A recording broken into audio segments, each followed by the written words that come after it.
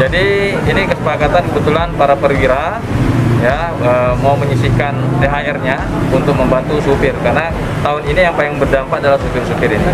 Ya makanya kami sisihkan e, sedikit yang kami punya THR untuk juga berbagi dengan rekan-rekan kami supir ini. Karena supir ini adalah mitra kami.